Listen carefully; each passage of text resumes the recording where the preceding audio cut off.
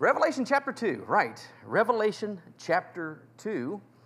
And uh, tonight I'm going to I'm gonna give this my best shot of finishing up this section because I really want to get it done and move on uh, so we can get through the seven letters to the seven churches so we can move into the rest of the book of Revelation. So uh, tonight we're going to be picking up where we left off the last couple times in verse 14.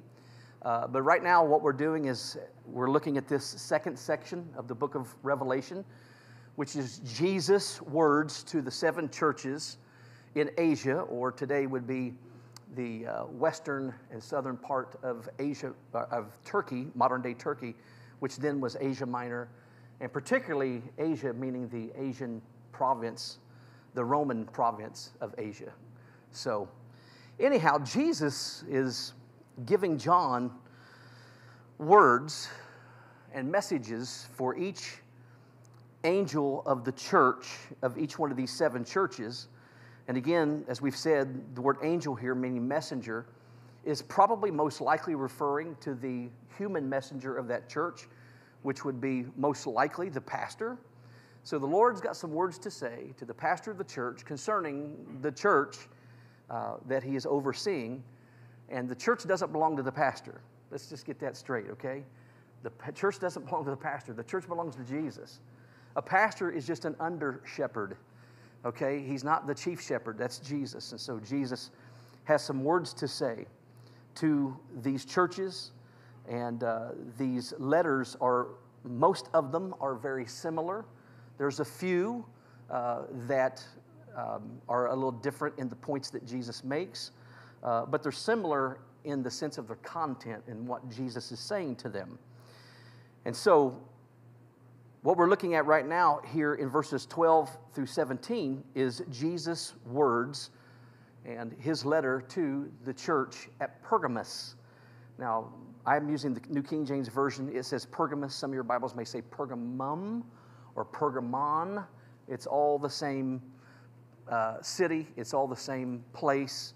Um, it's just that uh, Pergamos is the literal Greek uh, for this word, okay? And um, so that's why some of your Bibles say Pergamon or Pergamum, uh, because one of them is Latin, and I don't want to get into all that, but it's all the same. So this is where we're at. And uh, we're going we're to pick up here in verse 14 because that's where we've left off. If you haven't been with us or if you've missed any of these studies since verse 12, you can go to our YouTube channel. They're all there and you can get caught up uh, on Jesus' words to the church, church at Pergamos. But if you remember, where we're at right now is in verse 14 and 15. What Jesus is doing is he's giving this church words of correction or words of condemnation. Uh, not all the churches have these words, there's a couple that don't. Uh, actually, just two of them that don't, but the rest do. And so, in giving them words of correction, what Jesus is doing is he's telling these churches after he tells them what is right, after he gives them a word of commendation, here's what you've got right, here's what you're doing right, he then gives them a word of correction or a word of condemnation in the sense that he's telling them now what you have wrong, what's going wrong in your midst or in your congregation. And so that's where we're at here in verse 14. The only two churches that don't have a word of correction or a word of condemnation um, is the church at Smyrna the suffering church, and also the church of Philadelphia. Those are the only two that don't have this uh, element in their letters. So here we're looking at the church of Pergamos, and this is the compromising church. And so if you would look at verse 14, Jesus says, But I have a few things against you. Now, when you compare that to the last time he mentioned that, which was up in verse, I'm sorry, up in his letter uh, to the church at Ephesus, he told the church at Ephesus that he had something against them. He had one thing against them. Well, this church here, he actually, now when he says this again, it's to the church of Pergamos, and he says, I have a few things against you. And so what Jesus is saying is, even though you have some things right, there's a few things that you have wrong. And so, what was it exactly that was wrong in the church of Pergamos? And if you notice in verses 14 and 15, there's two things that they have wrong. they follow or they hold to the doctrine of Balaam and the doctrine of the Nicolaitans, which we'll look at that uh, as we go on and get in depth about that a little more. But what these two things that Jesus had against them were very similar in nature. They were basically the same thing. And they were both issues of false doctrine that crept into the church that led to compromised living. Their problem was both their belief and their behavior. They tolerated those who believed wrongly and lived sinfully. That was the problem in this church. As I've said before so many times, right? Belief always determines behavior. And what you believe will always determine how you behave. Okay? So that's really telling on us, isn't it? Because if we say we believe one thing but we do another, what are we saying? We're saying we don't really believe what we say we believe. You see that? If belief determines behavior and you do what you believe, but you act contrary to what you say you believe, guess what? You don't really believe that. Okay? So this is a very important thing. And so, what happened in this church is false doctrine was coming in, and that's why false doctrine is so, so dangerous. That's why this issue is so important, because what you believe will determine your behavior, how you live. And so, Jesus not only wants us to love him like he told the church at Ephesus, and not only are we called on to suffer for him like the church at Smyrna, but he also wants us to believe the right things so that we live right lives. And so that's the real issue here with this church. Now, I want you to notice, because he's going to say it again in verse 15, but Jesus says to them, here in verse 14, but I have a few things against you because you have there those, there, those in the midst of the church. So it's not the whole church was doing this, but there were some there among them. You have those there who hold the doctrine of Balaam. Okay? And we're going to get more deep into that tonight uh, and, and then move on. But what's interesting is the Greek word here for hold is very important because it refers to, in, in, Greek, it refers to a very powerful grip, having a very powerful grip on something, but refusing to let go. Now, the, the fact that Jesus uses that word gives us the idea that Jesus has said something to them about this before through his Holy Spirit, and they're not listening. So now Jesus is saying it louder to them. So some of those in this church were holding tightly to their compromise and continuing to refuse to let go. They just weren't going to let it go. And so he says the first thing that they would not let go was the doctrine of Balaam. Now, last week we looked at Numbers chapters 22 through 24, and we took a look at who this guy Balaam was in the Old Testament. And when you go back to the Old Testament, you see that he basically was a witch. He basically was a wizard, a sorcerer, who had this reputation that he could speak words of curse, cursing upon his enemies, or words of blessing upon his friends. He couldn't do it. What he did, he did through sorcery okay? He didn't do it because he was a real prophet of God and God worked through him this way. He had the reputation of being able to do this because of the tricks of his trade. That was it. Balaam in the Old Testament is very akin to and very much like Simon the sorcerer in the book of Acts in chapter 8, if you remember reading about him. These two guys were two peas in the pod, okay? So they, they gave this idea that they were followers of Yahweh, followers of the true God. Uh, Simon the sorcerer gave this, this air that he's a follower of Jesus Christ, but they really weren't um, sincere in their hearts in that. And so, if you remember, when we looked at Numbers chapter 22 through 24, we saw that King Balak of the Moabites, because he was afraid that as Israel's coming through the wilderness and passing by his land, he was afraid that they were going to attack him because of the amount of people they had and that they were going to, you know, take, you know, defeat him in war and take his land and, and, and you know, destroy them and take all this stuff for spoil.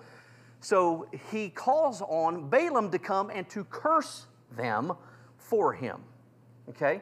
Now, if you remember, in that account in Numbers, Balaam tried three times by using his sorcery to, to speak words of cursing upon Israel, but he couldn't do it. And he couldn't do it because, number one, he didn't really have the power to do it, and number two, God had already blessed Israel, and he realized that because they were so blessed, he couldn't curse them even if he, if he wanted to. Okay? And so, after three times of trying to curse Israel, he finally gives up. And instead, what God does is God puts a word of blessing every time in his mouth to speak over Israel, which made Balak very mad because he's not getting what he paid for. Okay? And so, it's very interesting because as hard as Balaam tried to curse Israel, he couldn't. God had blessed them. So God actually put words of blessing in Balaam's mouth. And so what's interesting is if you wonder about that, well, how could that be? How could God put words of cursing, or I'm sorry, words of blessing in the mouth of a false prophet, in the mouth of a wizard, a sorcerer, to bless his people? If you got a problem with God using someone like that, let me just say this. Do you remember earlier in the story, before that ever happened? God used a donkey to talk to Balaam. Okay? So if God can use a donkey and speak, you know where I'm going, right? He can use anybody. He, he can use you and me and Balaam. So I don't have a I don't have a problem at all when I read the you know when I read that account that God put words of blessing in the mouth of a false prophet to speak over his people. Praise God for that. You know, I think about in the Old Testament where it says that um, whenever a, a, man's ways are pleasing to the Lord, the Lord will even uh, make him at peace with his enemies. That's what God did for Israel. You know, Balaam was rising up as Balaam and Balak was rising up as an enemy against Israel, and God was like, you know what? They're my people. I've blessed them. All you can do is speak blessing over them. So here's the deal. So if you remember, Balaam was a for profit, false prophet, right? He was in it for the money.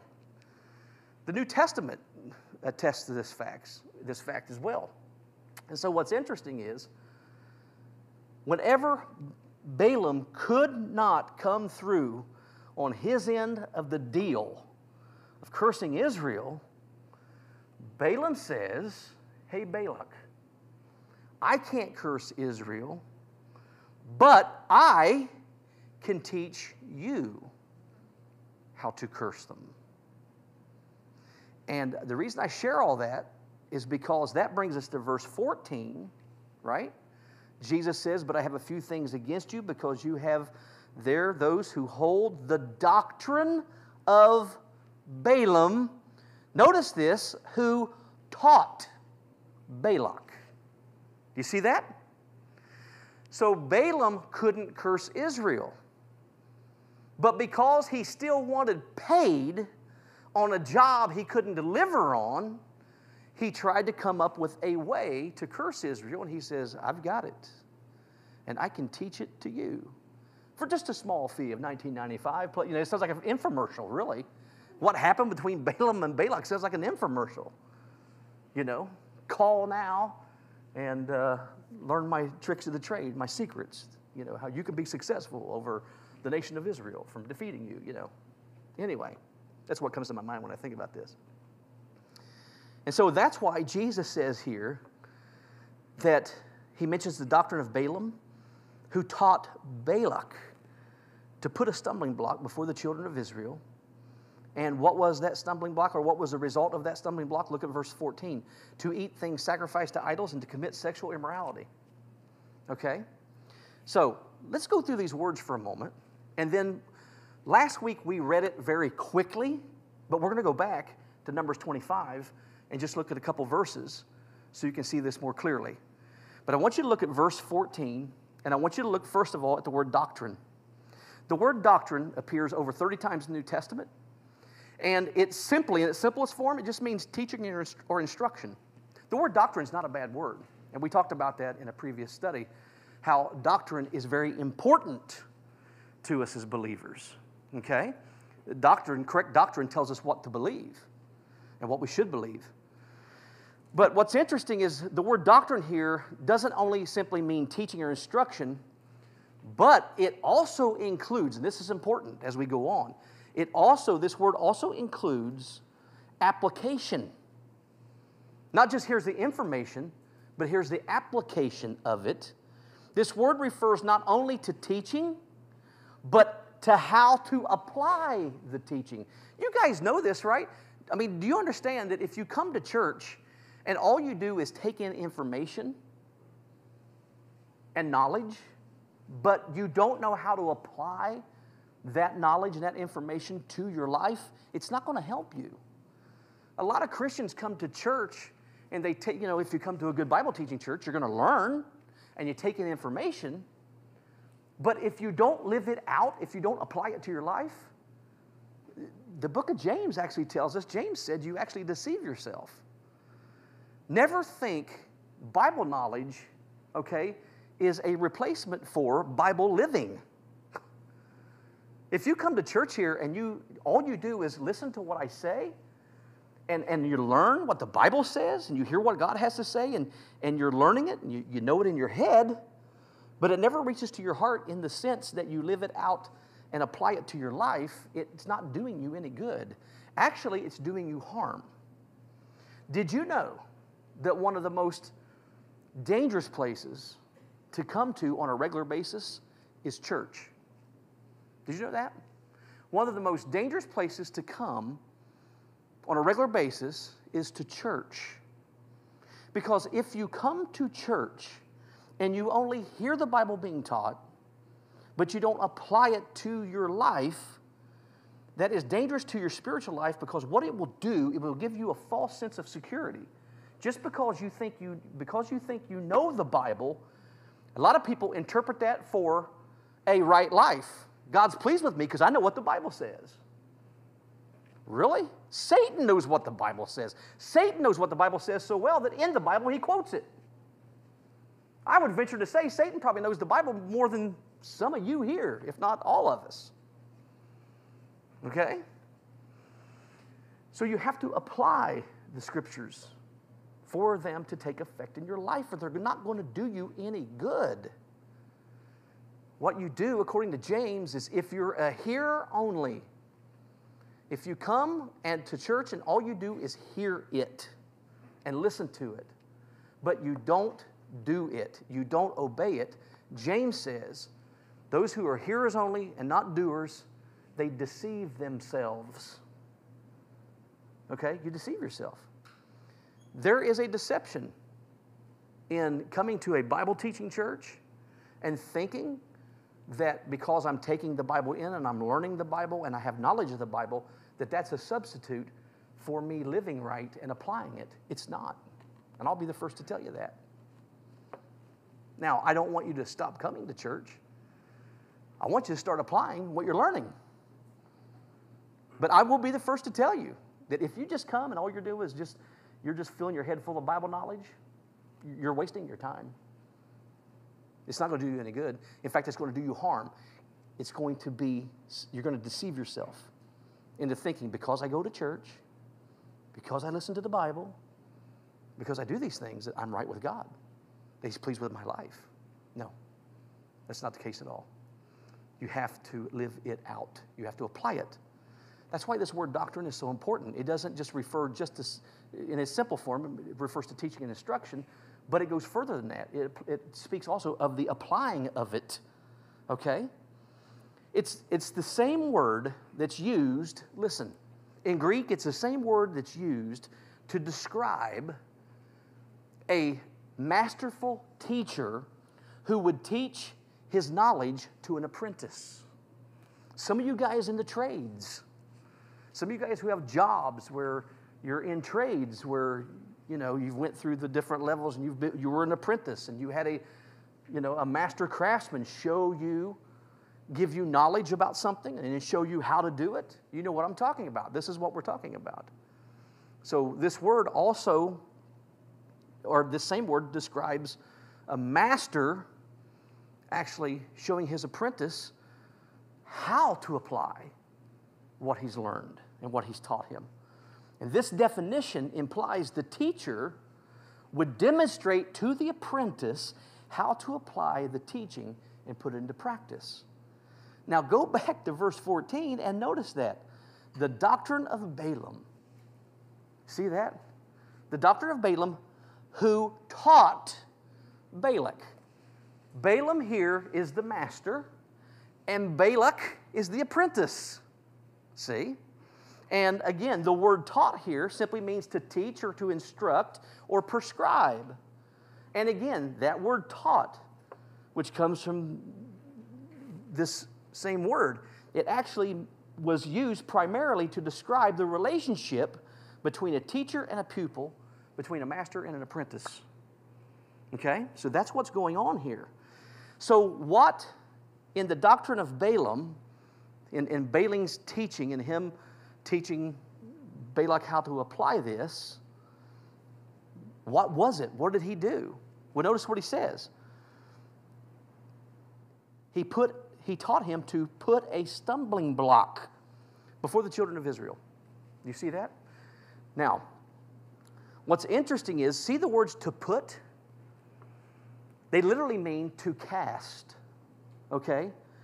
To cast, or literally to throw or to hurl to get something in front of them, okay, very quickly and to get it there right now, all right? To throw something or to hurl something in front of somebody. And it carries the idea or the element of surprise. Okay? This word, to put or to cast, means to throw or to hurl in front of someone in order to catch them off guard, to surprise them with something, okay? And notice what, what is Balaam teaching Balak to cast or to throw or to hurl in front of the Israelites? A stumbling block, it says. You see that? And the word stumbling block here refers to a trap that's used to catch an animal, you know? And so what's interesting is the word stumbling block here is, is the Greek word scandalon. And I know you've seen in, if, you know, years ago, right, if you watched cartoons, I know you've seen this type of thing where, you know, you, you know, somebody's trying to catch, you know, uh, Elmer Fudd's trying to catch Bugs Bunny, you know, or Wile E. Coyote's trying to catch the Roadrunner, that type of stuff. You ever seen this thing where there's a box and then the box is tilted up and in the box, let's say for Bugs Bunny, is a carrot under the box. And then there's a stick holding up one end of the box that has a rope on it, right? That stick holding up that box that has the rope on it is the stumbling block. That's, that's the scandalon. So the idea is when the animal, or let's say Bugs Bunny, goes underneath the box to get the carrot, the idea would be to, to pull the rope to pull the stick, and the box falls down over the animal. Now, today we're a little more sophisticated than that. You know, some of you have got traps that you've used before to catch varmints and, and pests, you know, especially here in, here in the city. Man, we've tried to catch skunks and raccoons and all kinds of animals, uh, groundhogs and everything. I had a groundhog one time trying to, you know, living under my my front porch, and oh, those things are such a pest, you know. And uh, I've borrowed traps off people before. I think Jeff, didn't I borrow a trap off you one time? Did I never did? It was somebody else here. Yeah, I borrowed. Tra- so, but the traps that we use today are a little more sophisticated. Doesn't have a stick and a rope, but it's the same idea. You know what I'm saying? The, the door has a certain kind of mechanism that holds it open you put the bait or the food inside the, you know, back inside the trap so when the animal goes in and goes so far in, it's going to set off the trap and close it, and you got your varmint, right? That's this word. That's the word stumbling block here. And when this word is used in the New Testament, the word scandalon, when it's used in the New Testament, it's used usually to describe an enticement to sin. Okay? So in the New Testament, this word is usually used to describe an enticement to sin. Paul uses it in Romans 14, verse 13. Let me read it to you. Paul says, Therefore, let us not judge one another anymore, but rather resolve this not to put a stumbling block, there it is, same word, scandalon, or a, get this, cause to fall in our brother's way.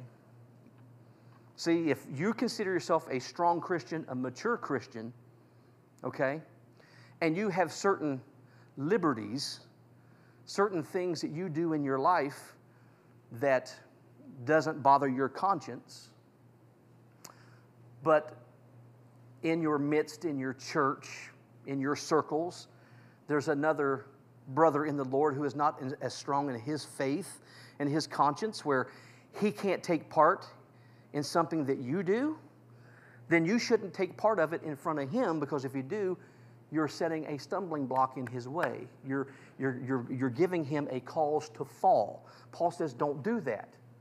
See? Balaam taught Balak how to put a stumbling block, a cause to fall in the way of the Israelites. And Paul says, as believers, let's not do that to each other. You know what I'm saying? For instance, let's just, we'll, this is the easy one, right? Uh, you know, as, as American Christians, if you feel as a Christian, if you're strong in the faith, you're strong in your convictions, and if you feel you have the liberty to drink alcohol, okay? Now, is drinking alcohol a sin for a Christian? I would say it depends on who you are. According to the Bible, it's not a sin to drink alcohol. There's nothing wrong with having a glass of wine with your dinner. Guy comes home from work, he wants a cold beer. Is there a sin in that act? No, there's not. Okay? Now, Jesus made this clear when he talked about eating and drinking things. He says it's not what goes into your stomach that eventually becomes eliminated that's sinful, it's what is in your heart that comes out your mouth that's sinful. It's not what goes into your mouth, it's what comes out that's sinful. Okay? But let me say this to balance that out, if you look at the Old Testament, especially the book of Proverbs, Solomon will give you many reasons, okay? By the way, who used to be a king of the king of the Israelites, right? Used to be the king of Israel, gives many reasons why it's wise not to partake in alcohol. Okay? But let me say this. If you as a believer who are consider yourself a strong believer, who has, you know, you're, you're strong in your conscience and such, and you feel the liberty to partake in alcohol without getting drunk, drunkenness is a sin. If you drink to the point where you get drunk, then you just forfeited your right to any alcohol. Okay? But if you're that person who can partake in it without letting it control you, biblically it's not a sin. But if you have other brothers in the church that used to be drunkards, used to be drunks, and they're tempted with it. I mean, you drink one beer, guess what? You're fine. He drinks one beer, he's back to being a drunk again. You see what I'm saying? If a strong Christian drinks a beer in front of a weaker Christian, and that weaker Christian falls into sin, you just put a stumbling block in his way by doing that in front of him and, and, and partaking in that in front of him. You, what were you doing? You were literally teaching him how to curse himself. See, that's what Balaam did here, okay?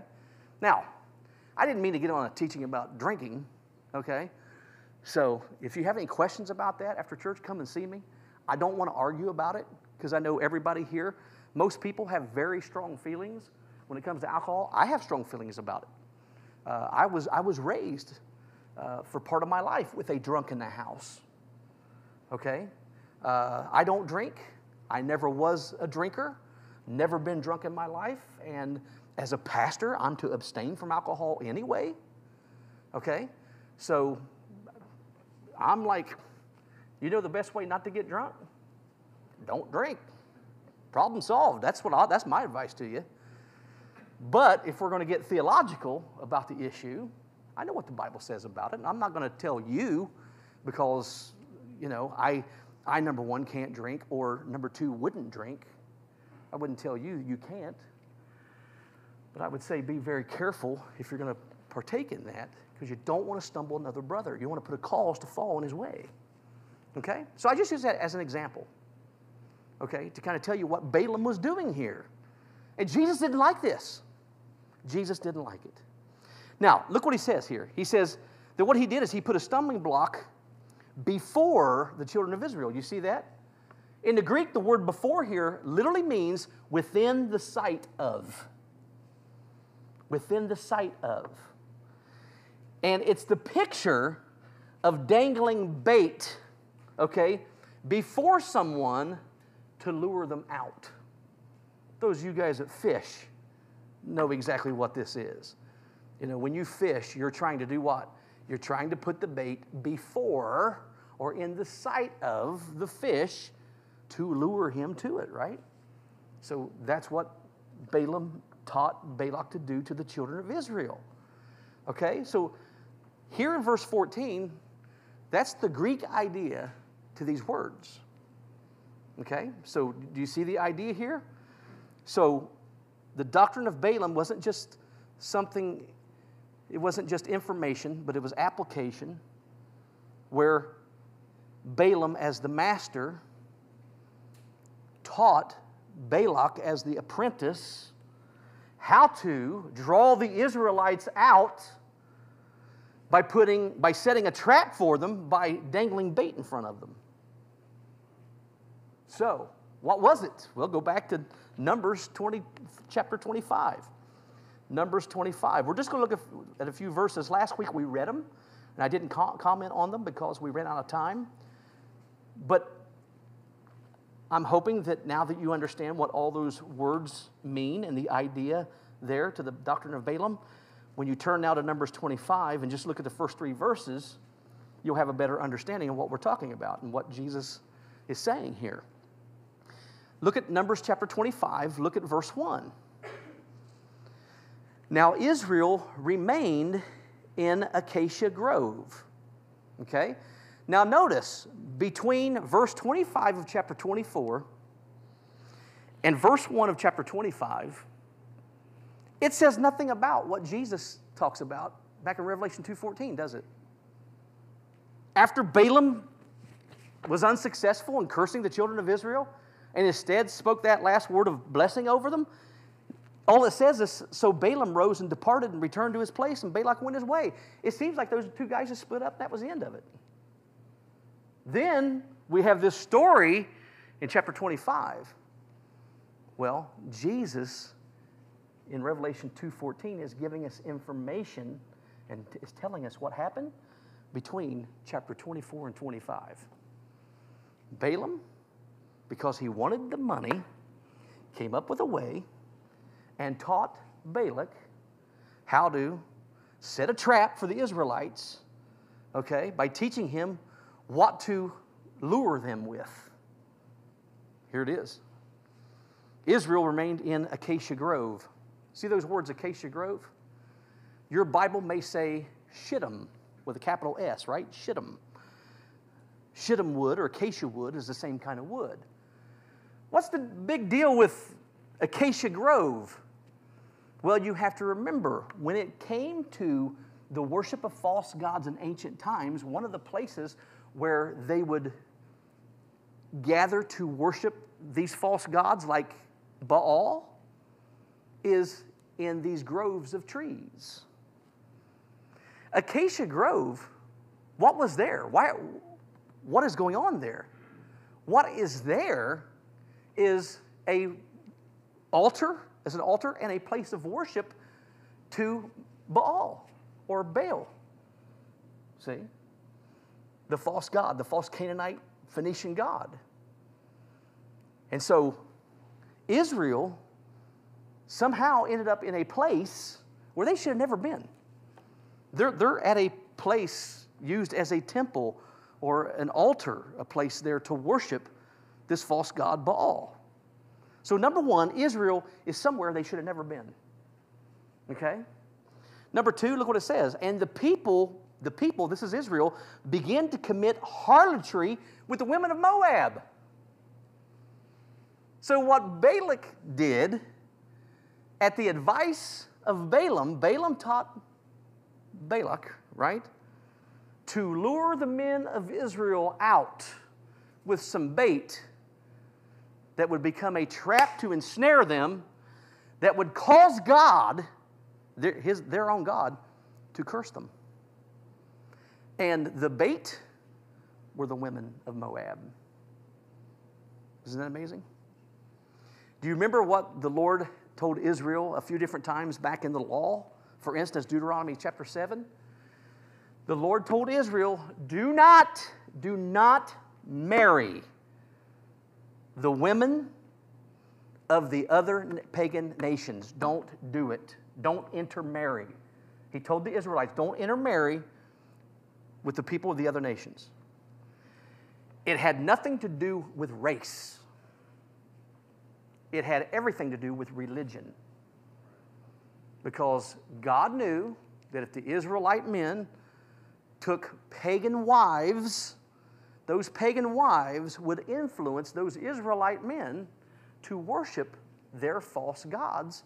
And of course, they would be committing, they would be committing then spiritual adultery, spiritual harlotry against God by committing idolatry. Always remember that. In the Old Testament, idolatry is spiritual adultery or spiritual harlotry against God.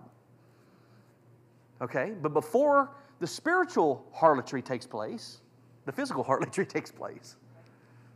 See, you married someone you shouldn't have married. Uh, in the New Testament, it's called being, being unequally yoked. See, Paul deals with this with the Corinthians. It says, don't marry anybody less than a strong believer. See, if you're a Christian. And so, as you look at this, you see that the people began to commit harlotry with the women. So the women were the bait, and that those women lured as they came out to this place of pagan worship, this place of worship for Baal.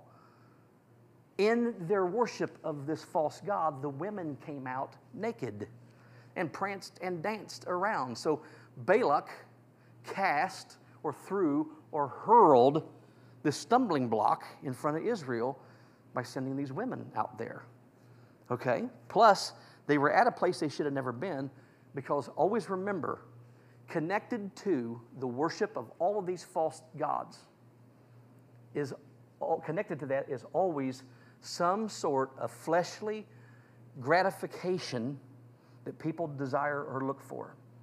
Okay? So that's why, I mean, even in, in in the Old Testament, and then even in New, Testament times with the Roman and the Greek uh, cultures, all of these pagan gods, what was connected to the worship of these pagan gods was always sinful acts of behavior that gratified men's flesh. Okay? So, for instance, if you were going to worship the Greek god Bacchus, Bacchus is the Greek god of wine. Uh, his, his name is also uh, Dionysus. In fact, in Pergamos, there was a temple of Dionysus, and he was the god of wine. So when you went to the temple of Bacchus or Dionysus to worship him and to venerate him, guess what you would do? Take part in wine until you were sloshed. You would get drunk. That's what you would do. When you would go to the temple of some fertility god or goddess, guess what you would do?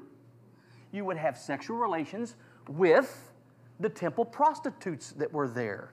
In some of those temples, again, in the Old Testament and in, in the New Testament times, there were men prostitutes and women prostitutes. So when you went to go worship a god or a goddess, like in the Old Testament, like Ashtaroth, she was a fertility goddess. When you would go to worship her, you would take part in having sex with the temple prostitutes. What I'm saying is, the worship of all of these false gods, what was connected to them was some sort of sinful behavior, okay, that gratified men's flesh. That's why these people were so drawn to these false gods. See, we, we think about it today and we're like, how could the Israelites been so stupid to worship a God made out of wood or stone? I mean, they were just dumb, weren't they? Or how could the Romans and the Greeks in the New Testament times, you know, done the same thing, worship these gods that are made of wood and stone?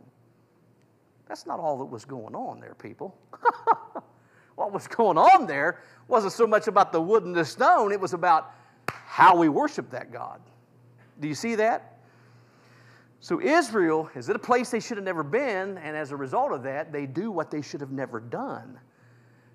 And so the men of Israel were drawn out by these women that were put before them.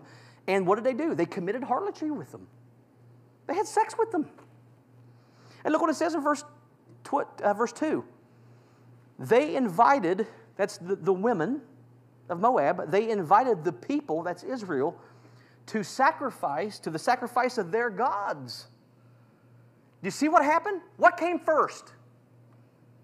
Hmm? The harlotry. The sex came first. What came next? Sacrificing to their gods. Do you see that? Do you see how that works? Yeah. That's why God told the Israelites, do not intermarry with these pagan nations. They, they, those women you marry, or those men you marry, will lead your heart away through sex, through emotion, okay? And they'll lead you away eventually to sacrifice to their gods and lead you into idolatry. So physical harlotry turns into spiritual harlotry against God. You got that? That's what's going on here. And so it says that they invited the people to the sacrifices of their gods, and the people, this is Israel, guess what they did? Look what it says. They ate. What's that mean? That means like a fish, they took the bait, hook, line, and sinker. And they're eating food sacrificed to these false gods, to these idols, which again is spiritual harlotry, spiritual adultery against their God, whom they belong to, who God, whom God rescued from Egypt, delivered from Egypt, brought them to Himself at Mount Sinai to be His people. He gave them a land, He gave them a law, and said, You're my people, and I'm your God, and I'm a jealous God. I'm jealous not for you, but I'm jealous over, or jealous of you, but jealous for you, jealous over you, like a husband is for his wife. And that's why he told them, listen, don't get mixed up with these pagan nations. And that's what they did. Over and over and over in their history, didn't they? Yeah. And so, notice what it says. The people ate, they bowed down to their gods. They're, they're all in now. Here's the Israelites worshiping these false gods, worshiping the idols of Baal or Baal or Baal. Look at verse 3. So Israel was joined to Baal of Peor. You see that? They're all in now. They've been deceived. And look what it says. Verse 3 And the anger of the Lord was aroused against Israel. Just the way the anger of a husband would be toward his wife who committed adultery against him, God is angry at his wife, Israel, his people, for doing this. And if you keep reading, we looked at it, we looked at it last week, but if you keep reading, you will see that the people brought a curse upon themselves. Okay? They brought a curse upon themselves. And it says in verse 9, and those who died in the plague were 24,000. What Balaam couldn't do through his sorcery, Balak was able to do, okay, through what Balaam taught him. See? And that was to bring a curse upon themselves. So, man, what a lesson. What a lesson. So go back with me to Revelation chapter 2. So, when it comes down to this, what, what is the doctrine of Balaam? The doctrine of Balaam is idolatry and sexual immorality. That's the doctrine of Balaam. And so, this church, this Christian church in Pergamos, had people in it that were saying it's okay as a Christian to go to these pagan temples and to take part in what they're doing. While they're going to church. The, the, the believers, at, some of the believers at Pergamos were sacrificing things to these idols.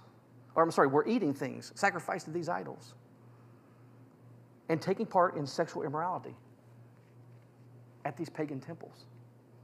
And again, remember when we first started our study of Pergamos, Pergamos was loaded with all sorts of these pagan temples.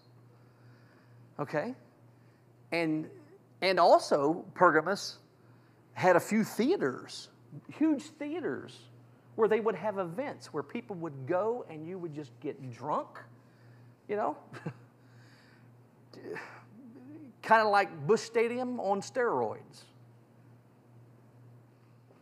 You know, one time I was at Busch Stadium with, with my son, I think it was me and Matt. Years ago, we were sitting in the bleachers at the old Busch Stadium. This guy had drunk so much at the ball game that he pooped his pants. And we're sitting there and we're going, wow. And we're like looking, looking around for like a baby. Is there a baby around here that's, you know, done number two and they need to change it. It was that bad. It was horrible. And finally, we looked down on the bleachers, not far from us, is a guy who had drunk so much that he did number two in his pants. And so many people complained that they finally had to take him out of there. But I've been to ball games where, man, people just get sloshed. Well, that's what was happening in Pergamos when they would go to these theaters. Same thing. So believers in Pergamos were being tempted to go to these places and to take part in this kind of stuff. Okay? To go to these theaters and, and, and, and watch things happen in the theater that they should not be watching. And to go to these pagan temples and to take part in sexual immorality and, and other things, like going to the temple of Asclepius looking for healing instead of coming to the elders of the church and letting them pray for them? You see what I'm saying? So the compromising that was going on in Pergamos was there were those in the church that were believing and were holding on to the idea that we can be Christians, but we can let our guard down and we can kind of mix with the world a little more. We don't have to be so stuffy. We don't have to be so strict. We don't have to be so legalistic about where we go, what we do, what we watch, what we take part in. We can loosen up a little bit. After all, aren't we here to be a light and to try to reach the world anyway? Yeah, if we're going to, then we need to get out there where they're at and do the things they do. That was the mindset in Pergamos. See? That was the doctrine of Balaam. Okay? Are we good? You with? All right, let's move on. The second of Jesus' two concerns about this church was the doctrine of Nicolaitans. Look at verse 15. He says, Thus you also have those who hold, there's that word again, they've got a, they've got a tight grip on and they will not let this go, who hold the doctrine of the Nicolaitans. Notice what Jesus says, which thing I hate. which thing I hate. Do you see that? Now, again, the Greek word here for hold means to have a powerful grip and a refusal to let it go. Okay? Now, what is the doctrine of the Nicolaitans? What's, what's being said here? What is Jesus so opposed to that they're doing? Well, the doctrine of Nicolaitans was almost mirrored with the doctrine of Balaam. Okay? But there's, there's two ideas behind this, and I'm going to give them to you in a moment. But the word Nicolaitans here is a compound of two Greek words. The Greek word Nike, N I K E. What's that spell in English? Yeah, this is where the word Nike comes from. And the word Nike in Greek means to conquer, to be a victor, to conquer. And the word laos, or laos, laos, laos, means laity or literally people. So if you put those two words together, it literally mean it literally becomes the word Nikolaos, Laos, Nikolaos, it's hard to say, or Nicolaitan, okay? Which means one who conquers or subdues people. Okay? So who were the Nicolaitans? Well, I'll give you, I'll give you two ideas that Bible scholars bring up, that good reputable Bible scholars bring up here. Number one, some have suggested, for good reason, that they were professional clergymen, okay, who lorded the ministry over the laity. These were church leaders, okay, who oversaw the church in such a way where they lorded it over the people for their own benefit.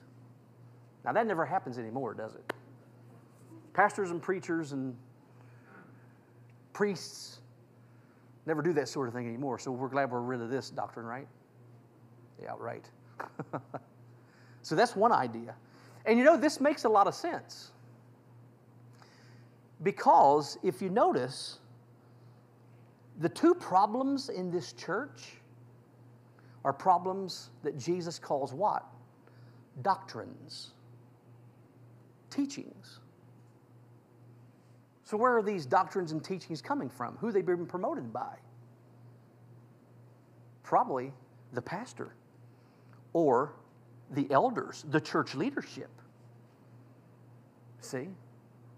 And so they're the ones promoting, possibly, very possibly, all of this compromise, all this, I'm sorry, all this false teaching that's producing the compromise in this church very well could be a leadership problem at this church.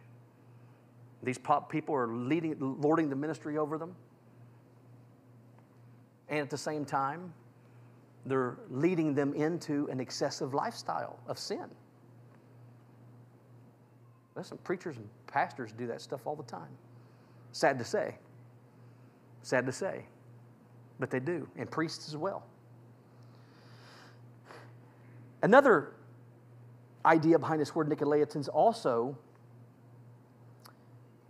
others say that what they were were those who followed a man by the name of Nicholas. Now, I shared this with you, I think, uh, when we were going through um, Jesus' letter to the church at Ephesus. Because if you notice back in verse, um, let me see here, in verse 6 of chapter 2, in Jesus' words to the church of Ephesus, he says, But this you have, that you hate the deeds of the Nicolaitans, which I also hate. You see that? So Jesus hated the doctrine the teaching and the application of the doctrine of Nicolaitans. He hated that. And he hated the deeds. He hated what the kind of life it produced. Holding to that doctrine, he hated the life that it produced as well. You see that? And so, get this straight Jesus did not hate the Nicolaitans, he hated their doctrine, he hated their deeds. He didn't hate them because they were believers. And that's why he takes the time to write this letter to try to give them an opportunity to repent. Okay? You with me? Okay. So, the Nicolaitans were those who followed Nicholas of Antioch. Now, who's Nicholas of Antioch? Well, if you go back and don't turn there, but if you go back to Acts chapter 6, you'll find out that he was one of the original deacons, one of the first deacons mentioned in Acts chapter 6, verse 5. And what people believe, or what Bible scholars believe and historians believe, is at some point what happened to him is he started propagating the false teaching and the false idea of extreme grace. In other words, you can sin as much as you want as a Christian, because God will forgive you if you ask Him. So the Nicolaitans were people who had no problem exercising Christian freedom. See, they, they loved Paul's words where Paul said, All things are lawful for me. They went, Fantastic. We can do whatever we want. Now, they ignored, ignored Paul's words where he said, All things are lawful for me, but not all things are helpful. Not all things are profitable. All things are lawful for me, but I won't be brought under the power of any. They, they left those words out. They just took the first part. All things are lawful. Great. These, these were the kind of people that Paul addressed in Rome, in Romans chapter 6. Remember the end of Romans 5? Paul says, Where sin abounds, grace does much more abound. And to, all, to that, we all, as believers, would say, Praise God. But then there were those in Rome who said, well, if that's true, if, if where sin abounds, grace abounds, then why don't we go ahead and sin so God can send more grace to us? He can give us more forgiveness. See? How did Paul answer that? Romans chapter 6, verse 1. Should we continue in sin that grace may abound? Paul said, God forbid, let it never be. See? This is what the Nicolaitans were teaching. In other words, just like the doctrine of Balaam, they were like, hey, it's okay to go to the theater, man. Drink it up with your buddies. It's okay to go to the theater and watch Christians get killed. it's okay to go to the theater and watch stuff and take part in stuff you shouldn't. It's okay to go with your buddies to the, to the pagan temples and take part in the sexual immorality and take part in the drinking and the carousing and all of that because you're saved. You're a Christian. You're saved by grace. That's the kind of people these people were. In fact, Irenaeus was an early church father from the second century. And here's what he wrote about the Nicolaitans. He said that the Nicolaitans promoted fornication, which fornication is sexual immorality, and a compromising position on eating foods sacrificed to idols, leading many into an unrestrained carnal lifestyle. That was the doctrine of Nicolaitans. Hey, you're saved by grace. All things are lawful for you, so live it up. God's a forgiving God. Grace covers everything. You know? Well, what did Jesus say about it? Look at verse 15. Thus you, ha- you also have those who hold the doctrine of Nicolaitans, which thing I what? Hate. Guys, the word hate here is a strong word it means to detest.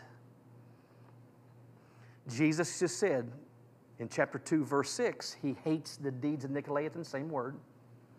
And he, and he hates the deeds, and he hates the doctrine. He hates the teaching, the idea of it, and he hates what it leads to. Hates it, detests it. The word hate here means to hate, to abhor, or to find utterly repulsive.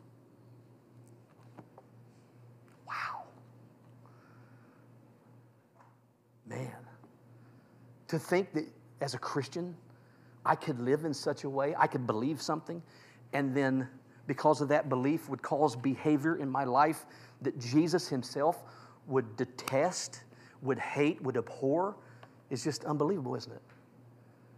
But it's possible. It's possible. Now, we don't have time. I almost made it. Almost made it. So we're going to have to quit right there. But, guys, let me, let me tell you what. You know, here in America, um, the last several years, you know, there's, there's been teaching.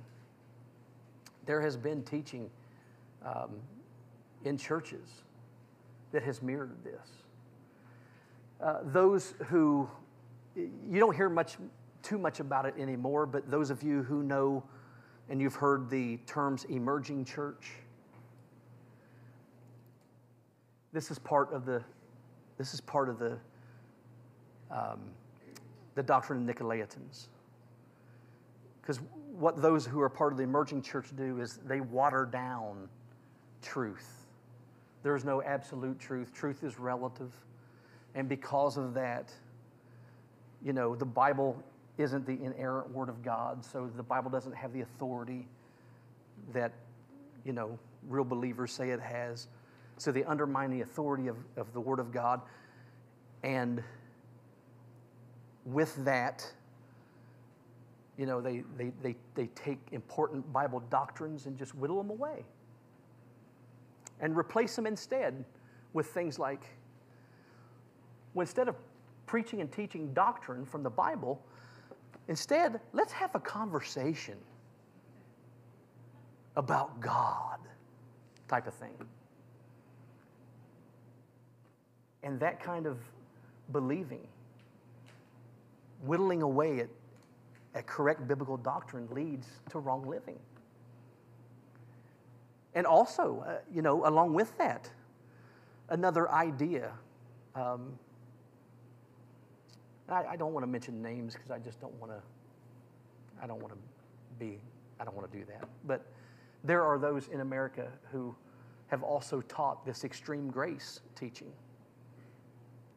That because you're a believer, and because you do not have anything to input into your salvation because it's all God and you're saved by grace, then you can pretty much do whatever you want. And every time there's that kind of teaching, that as a believer, because you're saved by grace, there are no boundaries in the Christian life, every time you have that kind of teaching, it, it lends itself to wrong living because it's wrong. You know, again, Romans chapter 5, right? Where sin abounds, grace does much more abound. Chapter 6, verse 1, should we sin that grace may abound? Let it never be. There's a balance, you know. And so the church of Pergamos, you know, was going through that, the temptation of compromising. And the compromising didn't start with the behavior, it started with the mindset. You know what I'm saying? It, it started with, you know, it, listen, it's okay if we're going to reach the world, we need to be like the world. We need to be where they're at, doing the things they're doing, if we're ever going to reach them. So, and then they use that type of thing to take part in what they take part in. But then what happens is they live the same kind of life. They're not really a light to them. They just mix right in with them. Just like what happened to the Israelites in Numbers 25 with the women of Moab and the people of Moab. You see that? So I hope that makes it clear. Does that make it clear? That's what's behind the doctrine of Balaam and the doctrine of the Nicolaitans. And Jesus says, I hate it. I despise it. I detest it. I abhor it. It's repulsive to me. And so, as believers, if there's anything Jesus says to us that it repulses him, it should repulse us as well. It should make us sick at our stomach as well. And if so, we should run from it. Which, next, Okay? Jesus is going to give them that very advice. Okay? And so that's where we'll pick up next week. And we'll finish next week, the Church of Pergamos.